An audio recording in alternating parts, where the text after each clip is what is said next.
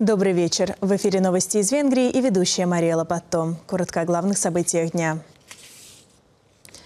Продолжение санкционной политики приведет к трагедии, считают в исследовательском центре основных прав. Директор Иштван Ковач заявил, несмотря на то, что Европа и так находится в жуткой ситуации из-за антироссийских санкций, Урсуна фон Лайен по-прежнему призывает ЕС сохранить эмбарго. Брюссель до сих пор не осознает, что совершил ошибку, когда ввел санкции против России, подчеркнул директор исследовательского центра. Несколько евродепутатов поддержали Венгрию на пресс-конференции после того, как Европарламент в среду обсудил отчет, осуждающий Венгрию. По словам автора отчета от левых сил, в последние годы ситуация с демократией и основными правами в Венгрии продолжала ухудшаться – по мнению же французских, испанских и австрийских депутатов, доклад ложный и содержит неприемлемую клевету на Венгрию.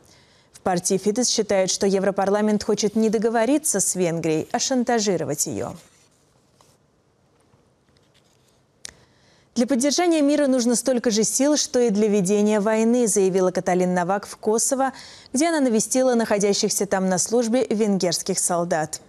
В прошлом году Венгрия возглавила миссию международных сил для Косово под руководством НАТО.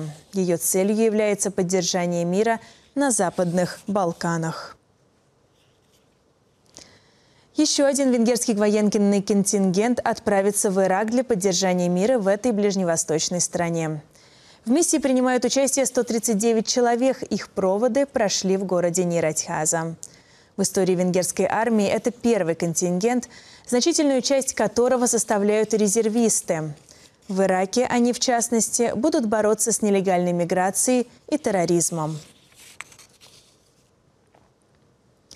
По мнению Президиума Врачебной палаты Венгрии, новый закон об аборте не противоречит этическому кодексу врачей. Вчера был обнародован указ, согласно которому решение об аборте женщина может принять только после того, как послушает сердцебиение плода. По мнению экспертов, каждая женщина по-прежнему вправе решать, сохранять ей ребенка или нет. По словам представителя международной общественной организации Citizen Go, если этот указ спасет хотя бы одного ребенка, уже тогда он вынесен не напрасно. И это все на сегодня. Смотрите нас завтра в это же самое время. До свидания и спокойной ночи.